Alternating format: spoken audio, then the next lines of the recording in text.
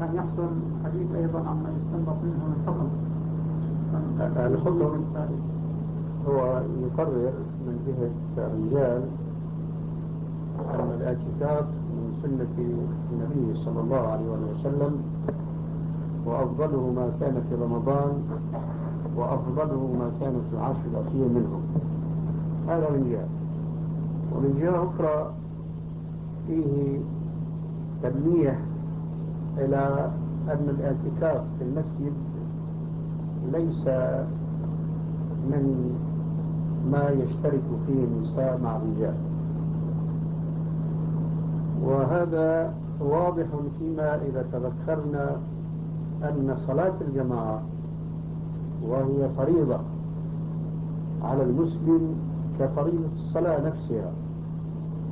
ففي هذه الفريضة فريضة الجماعة لا تشترك فيها النساء. فأولى وأولى ألا يشترك النساء في شرعية الاعتكاف في المساجد.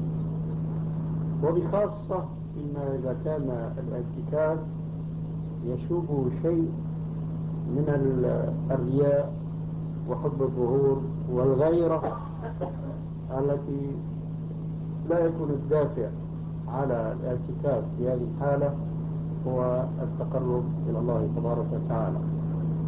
فالرسول صلى الله عليه وسلم نقض الأخذية التي أي الخيمات التي نصبت في المسجد النبوي لبعض زوجاته عليه الصلاة والسلام. ومن باب حسم الموضوع نقض أيضا خيمته عليه الصلاة والسلام التي كان يعتكف فيها هذا ما يمكن